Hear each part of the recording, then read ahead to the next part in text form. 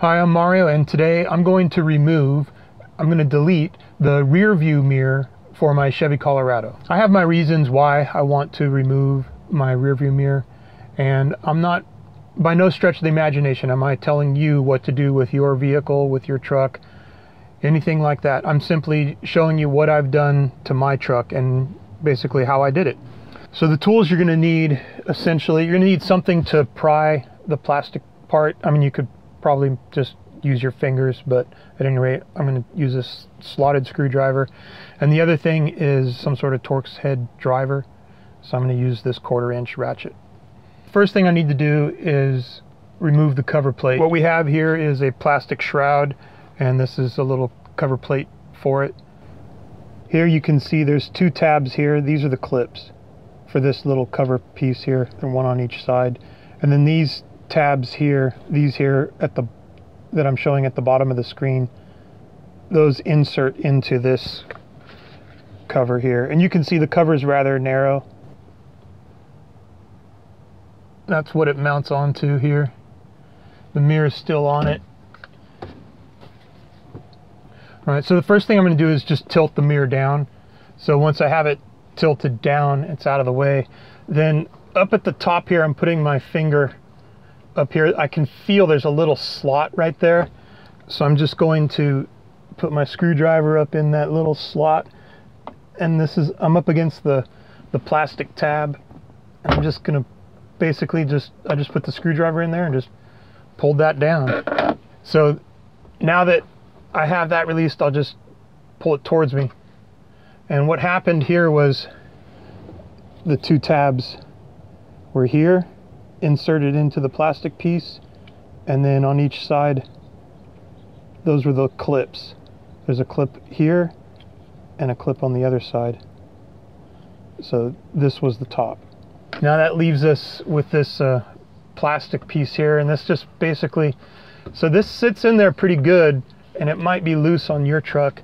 So you can just take it off and then put it back on inspect the little tabs. I mean it you can see I'm moving it a little bit here but basically once I once I move that out towards me, then I can just push downward and it just falls right out. That's essentially the part that was snugging up against the mount. And then these are the the part, the clip. This part here receives that clip that I was indicating for that little cover piece. There's one on each side. And then this would be the top.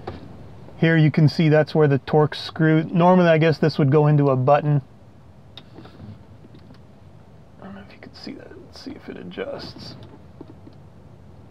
And there's the Torx screw here.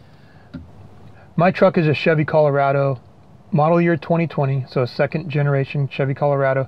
And this is a WT without any features associated with the mirror. So there's no power accessories going to the mirror. There's no um, automatic dimming feature for the mirror, no OnStar connection, nothing else um, here. So this might be a little bit different for your truck. Now we're moving towards the Torx, So I'm gonna go ahead and I'm gonna give it a shot with my screw gun here. And then so now I'm just gonna tilt up the mirror as much as I can out of the way.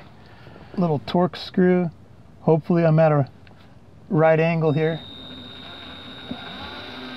And I have a feeling this is gonna fall, so I'm gonna put the camera right down. So there's the screw. Normally a button would be glued to the windshield.